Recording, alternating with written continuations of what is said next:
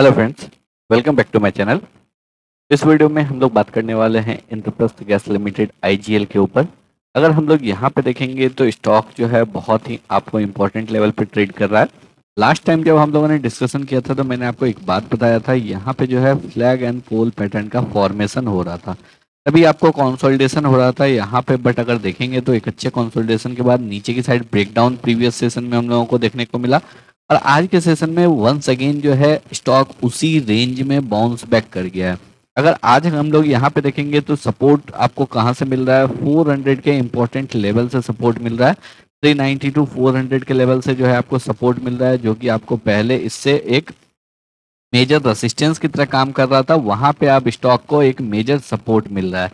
तो यहाँ पे ऊपर की साइड जब तक स्टॉक जो है आपको 440 450 के लेवल के ऊपर सस्टेन नहीं करता है।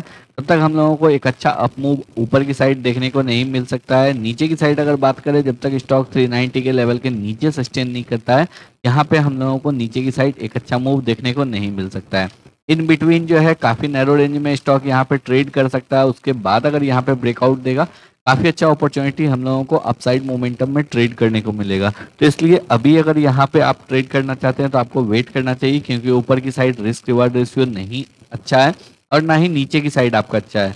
इन बिटवीन में अभी ट्रेड कर रहा है, एक बार ब्रेकआउट का वेट कीजिए 450 के लेवल के ऊपर हम लोग ट्रेड करेंगे या फिर 390 के लेवल के नीचे हम लोग ट्रेड करेंगे। इन बिटवीन में हम लोग यहाँ पे आपको अवॉइड करेंगे, हम लोग यहाँ पे आराम से बैठे रहेंगे। इन केस अगर आप होल्ड कर रहे हैं नीचे के लेवल से, आप कंटिन्यू स्टॉक को होल्ड करके रख सकते हैं। आई होप आप लोगों को सभी लेवल्स जो है बिल्कुल क्लियर हो गया होगा तो अगर आप लोगों को वीडियो पसंद आया हो एनालिसिस अच्छा लगा हो, वीडियो को लाइक करके चैनल को सब्सक्राइब ज़रूर करें।